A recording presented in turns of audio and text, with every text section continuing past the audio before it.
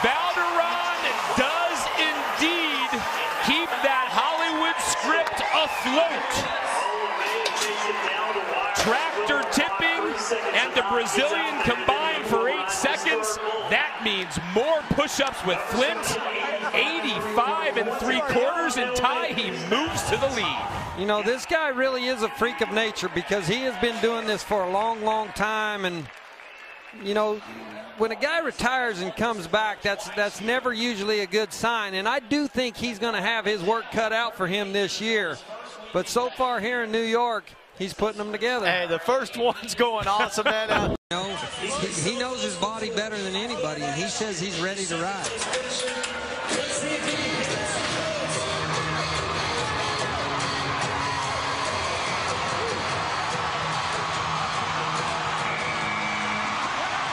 After watching his good friend Silvano Alves make it to eight, Valdiron willed himself to the time limit.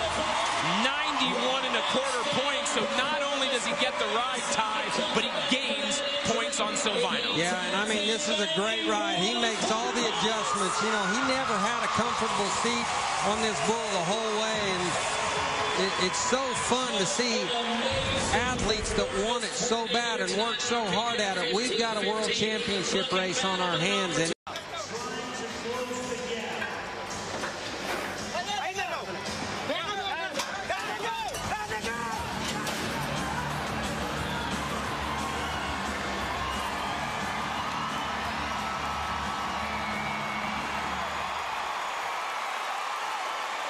The crowd shows their appreciation.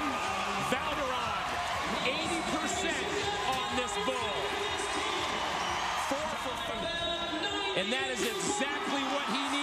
to put the pressure on Alves. this is what he has to do. And, you know, this could really get the ball back to rolling for Valdiron.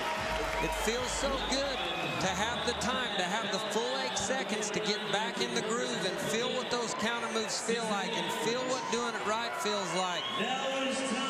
There you see Silvano, you know, the, these guys are pulling for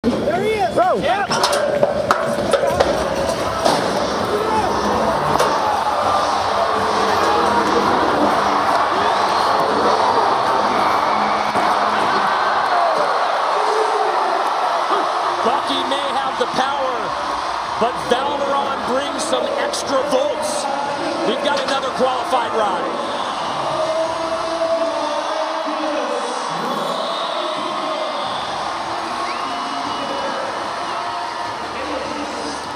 This is Valdiron at his best. You know, this bull has been knocking guys down right and left. You take the bigger they are, the stronger they are.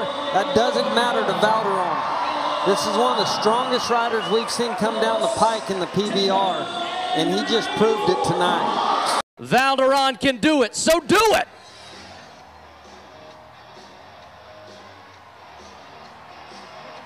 Help him get there.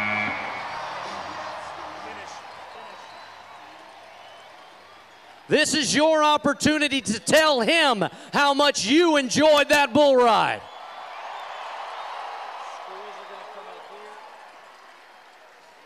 As our scores come in, you can see the perfect position. As he comes around all the way to the right, New York City, you're going to like this 88 and a half.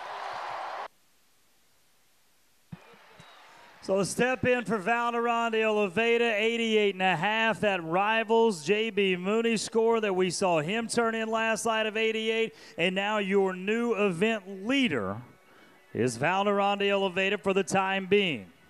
Feeling it at all here in Billings. Yeah.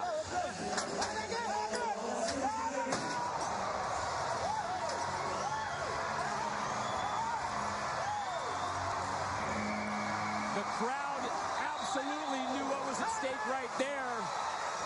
Valdiron having to do a little extra running. Jumps up on the rail. We're about to see some big scores. And we should. Going to do 91 and a quarter push-ups. I'm going to go with no. he might be able to, but Flint can't. His sixth 90-plus point ride of the season. And this is the old